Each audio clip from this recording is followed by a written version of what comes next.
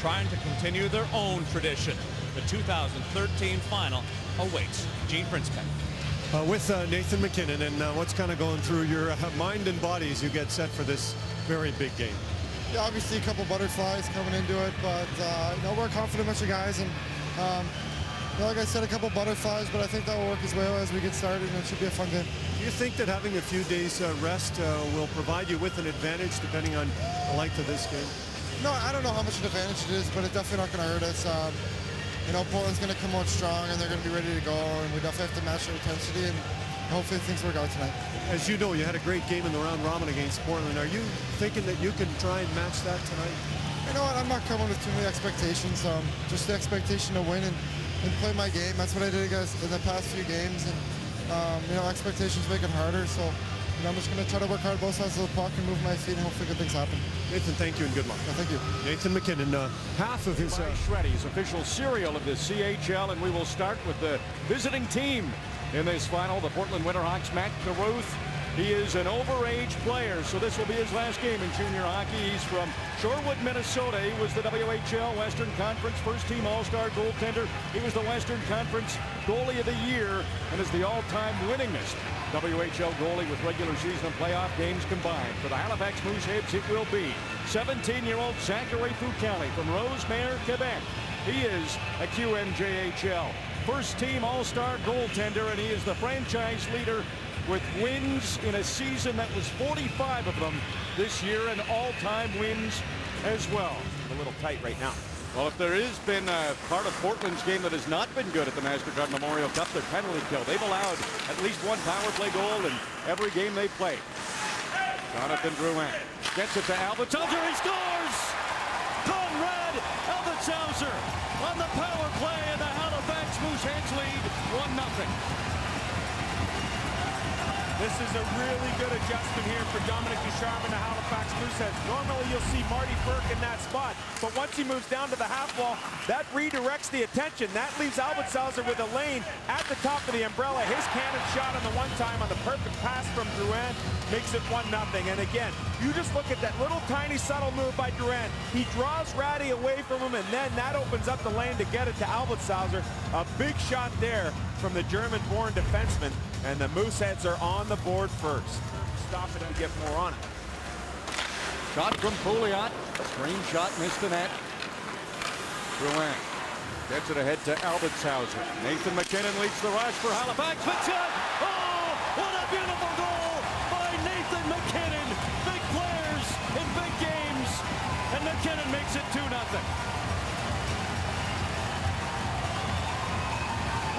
Carruth might start to be having nightmares about what happened in the first meeting between these two clubs. Right off the draw, Halifax is able to, after the shot from Portland, break out. And you can see good puck support here on the rush. Now it's a simple fact of getting a guy who just wants more than everybody else. As MacKinnon comes across the line, he's one against three. He's able to kick it from blade to stick and that element of surprise with a quick shot gives the Halifax Mooseheads a 2-0 lead. Some offense. Jonathan Drouin trying to make a move one-on-one -on -one against Wotherspoon. Got it down low to Nathan McKinnon. MacKinnon, a couple of good moves. Got it back to Drouin. Open net is scored. Oh, the Mooseheads, a thing of beauty. Call it three. What a lead. Oh, boy. This is something special right here. Jonathan Drouin, great vision, great hockey sense, and the finish by Frk is big league. Drouin tries to make the move here to get around Wotherspoon is a tough pass, but he doesn't give up on the play. It's a simple chip down to MacKinnon. Now MacKinnon makes a beautiful pass to Drouin, and Drouin with his head up before he even gets the pass. He knows that Frk's open. He just needs to find the lane to get it there. He puts it there right in perfect position for the one-timer, and Frk with that bomb of a shot not likely to miss. Look at the flex on that stick, the torque. Derrick Pouliot realizes his teammates need a change. He might get in. Got a backhand on Fucale, and Fucale was tight to the post. A chance, short-handed.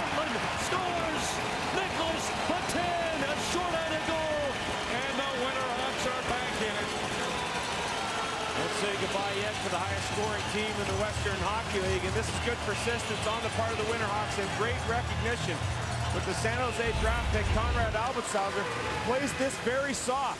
As it goes down the wing, he lets Pouliot go to the net. If he plays a little harder on him there and can disengage man from puck, this wouldn't happen. Rattie takes control after the rebound, and from there, Nic Petan sneaks down, and he's able to pick up the goal for the Winterhawks. A much, much needed goal, and his first return in this hockey club. The last seven minutes have been great. Pouliot another shot, missed the net. Leipsic keeps it alive. Rattie knocks it down and scores. Portland gets another one. It's 3-2.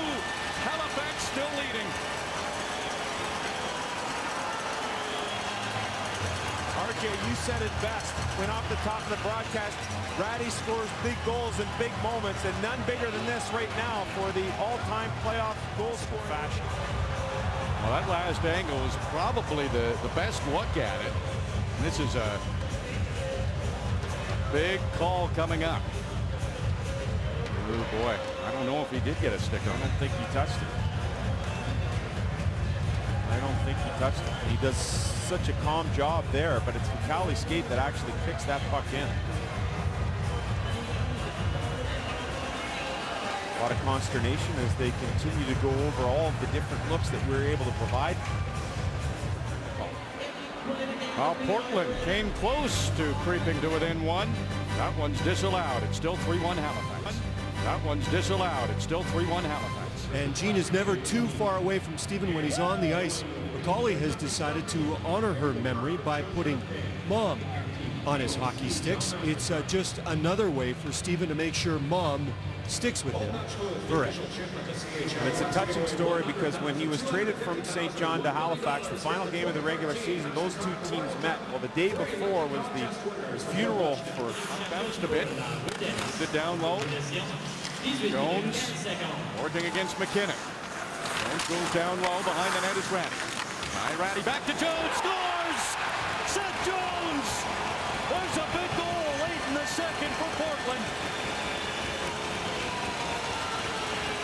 Well, you look at all the talent out there on the ice. You got a San Jose draft pick with a couple of upcoming first rounders in Drouin and MacKinnon. And then you've got Wotherspoon, a Calgary pick out there with Rattie, a St. Louis pick. And then Petan and Jones expected to go early in the National Hockey League draft. Jones likely number one, and it's Jones who ends up coming up with the goal. And excellent work there by Rattie. Got his back to the boards. He's facing the play, and Jones does a nice job getting open. And then the finish for a defenseman, a tall one at that, who doesn't have a lot of room to work with, makes that one step in to open up the door even more. And Portland has found life once again after this Right off the post. leg. Roof to roof. MacKinnon, he can shoot it too. That just missed the top corner. MacKinnon circling the net, bouncing puck, he scores! Nathan MacKinnon! What an effort! Halifax goes up 4 to 2. What is not to like about this guy? This is the power game. This is that lower body strength, that hockey lower end, if you will. Frk gets a good chance as he comes cross ice, and Ty Rattie like hits the post. And a good job here in the neutral zone as a quick re regroup here for Halifax allows them to enter the zone with speed. Shot misses. MacKinnon doesn't give up on the play. Look at his body positioning right here. He swings his rear end around. That eliminates Rutkowski, and he takes two whacks at it. So persistent is MacKinnon. He can't make the first one. He goes skate to stick to back of net. Brilliant play by Nathan MacKinnon. Drouin, got in front of him. Drouin trying to steal that puck. Here's Leipsic. Leipsic gets around his man. Alone in front. Bjorkstrand stopped by Fucale. Big save for Zachary Fucale. Now look out. MacKinnon's down there. The puck drops in front of him. Looking for the hat trick. That's not. Rebounds in. Konrad Abeltshauser. And the Mooseheads are up 5 to 2.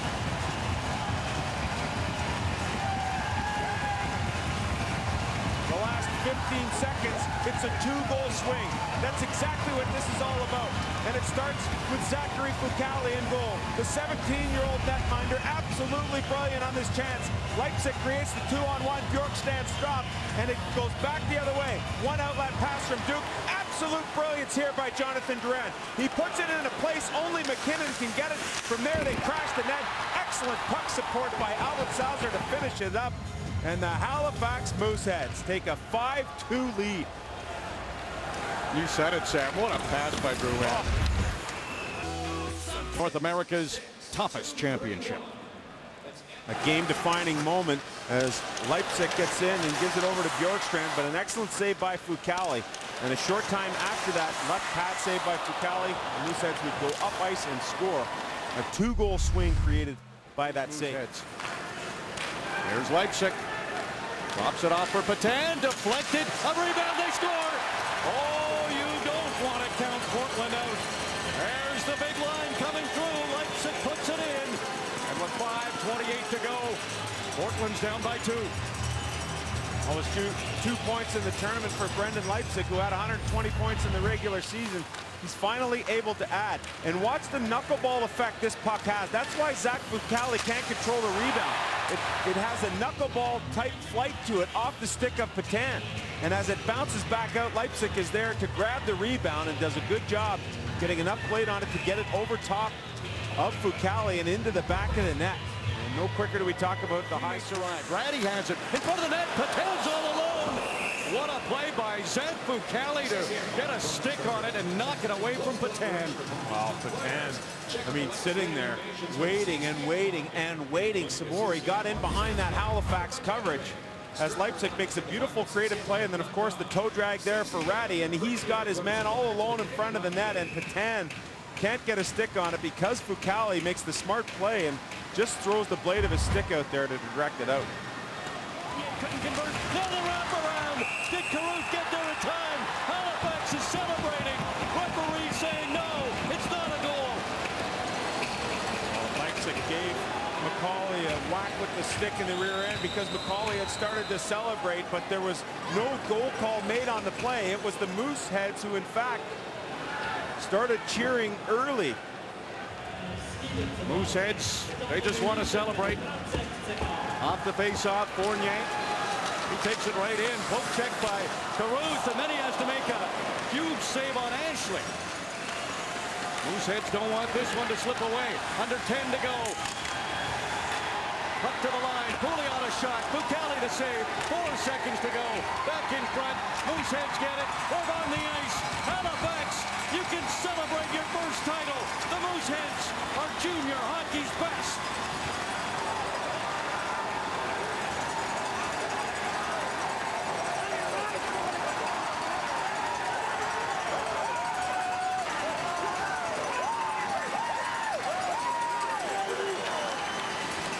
A heavyweight tilt for the final buzzer. 19 years long the wait has been for the city of Halifax. They got their President's Cup. They enjoyed that one and celebrated for a couple of days.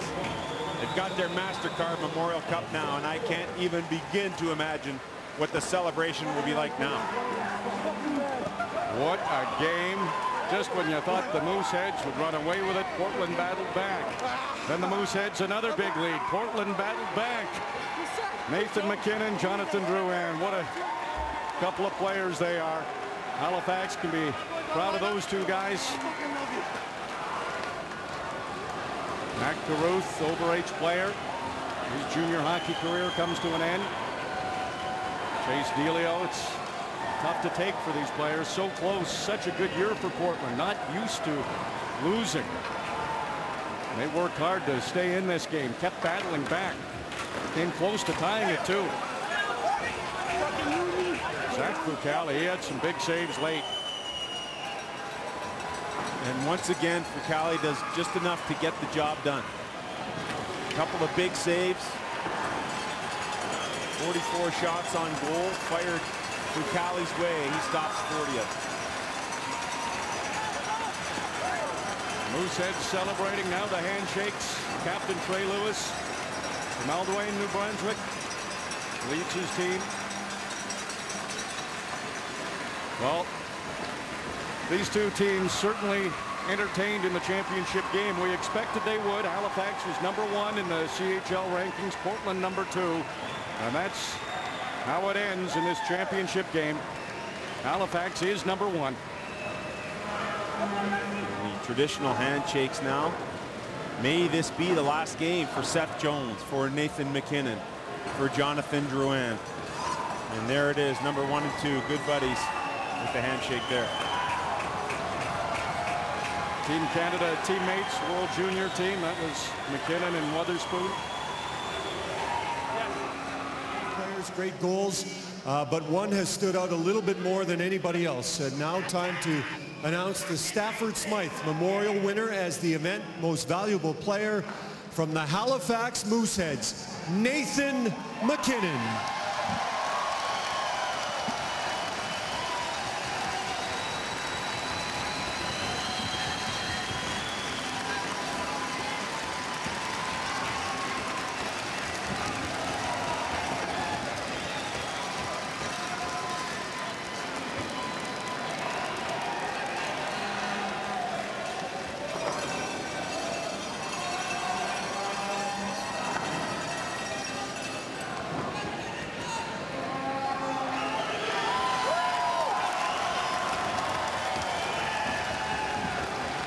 Congratulations to Nathan and uh, all the great help he received from his teammates. At this point, we'd like to welcome the Canadian Hockey League president.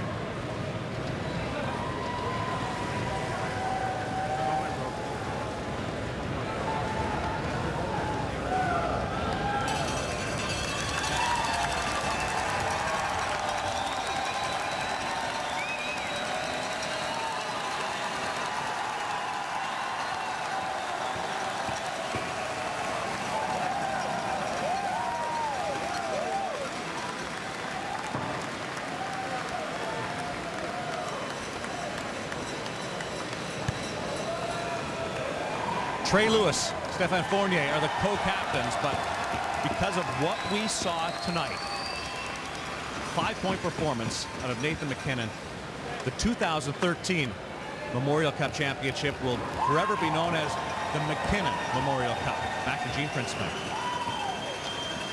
Darren, thank you with uh, Nathan MacKinnon, and uh, what has this all felt like for you? You know, this is unbelievable. Um, you know, these 20 guys that we played with all this year, and um, to win it in this style, it's a really close game, really exciting. And, you know, I'm speechless right now, and it's an amazing feeling. Can you describe just how you stepped up in the round robin against Portland and then again tonight? You know what? Um, I think it was a full team effort. Uh, personally, it wasn't just me. I think um, everybody played unbelievable, and it's obviously nice to get a couple. Describe just uh, all the talk about the draft positioning, and not necessarily that you wanted maybe to make people wonder about the first overall pick, but how you felt about your play and proving that if you are first overall, you've earned it. You know what? Um, I'm not think about too much the draft right now. This is probably the best moment of my life, and um, obviously I want to have a good tournament. I'm not sure how the draft will go, but um, right now I'm just going to enjoy this. What's the best part of winning? Celebrating with these guys. Um, they're brothers. Uh, you know, we love each other. And, um, you know, the feeling right now is indescribable, and I can't wait to celebrate with these guys tonight. And we're going to let you do that. Thank you, Nate. Thank you. Appreciate it. What a great tournament on the part of uh, Nathan MacKinnon, uh, Darren, and uh, of course it is the MasterCard Memorial Cup, and I think you'd have to say that his performance was, you guessed it, priceless. And what is really amazing, players in the world when it's all said and done. Nathan MacKinnon, Jonathan Drouin, with their best games of the tournament in the final. Add to that list Zachary Fucale. Here's Gene. Uh, thank you very much, Darren. And uh, Zachary Fucale still uh, celebrating it. Sorry for intruding, uh, but it is a moment that uh, you want to share with your teammates and certainly with Halifax fans and all the fans who've watched uh, CHL hockey on Sportsnet all season long. what's it like to be a champion? Whew. It's it's uh, I don't even know what to say. I mean, I'm pretty sure everyone's gonna say the same thing, but I mean, a big thanks to all the boys. It's all, it's all, we all deserve it here, and thank you to everyone, all the fans, Halifax, my family, here with me. Thanks to everyone, staff. Couldn't be happier. This is awesome. What did you think about this game? Because your team ran out to such a nice early lead, and then it was pretty tense all the way to the end. Yeah, I mean. Uh, the Portland certainly gave a good fight. I mean, it was, it was for sure they weren't going to give up, and I think uh, it was one of the longest games I've ever been in. And I'm really happy the boys gave it their all and we, we came out with it. We, we came out with the last win of the season. This is awesome. Zachary, thank you. Congratulations. Go enjoy yours. Thanks, Gene. Zachary Fucale, who uh, is... Nathan MacKinnon, Zachary Fucale. Here's Jonathan Drouin.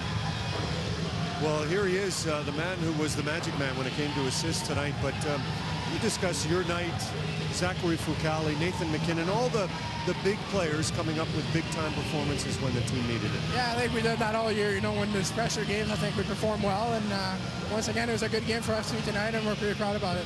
I should mention Marty Frk as well, because uh, your line was uh, dominant tonight. What were you able to do to have the kind of night that most lines dream of? I think we're just trying to find space. You know, uh, we started hard work down low, me and Nate cycle, and uh, Marty's got a great shot to finish, like on the fourth goal, and uh, everyone's proud of that. baby, number one. Oh, he's already taken off. Well, Nathan MacKinnon, um, what did you think of his leadership uh, in, in this game, almost saying, I'm going to will our team to win? Oh, Nate, Nate was great tonight. You know, uh, he stepped up his game even more than what he stepped up already, and uh, you know, a hat trick to finish the tournament off. It's great for Nate.